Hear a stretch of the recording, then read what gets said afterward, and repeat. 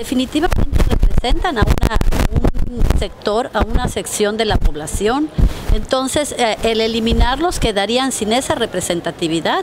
Y, este, y, hablando específicamente de mi partido Nueva Alianza, nosotros hemos tenido representación plurinominal y estos diputados que, han quedado por, por Nueva Alianza, claro, lógicamente obteniendo el porcentaje requerido, este, han dado atención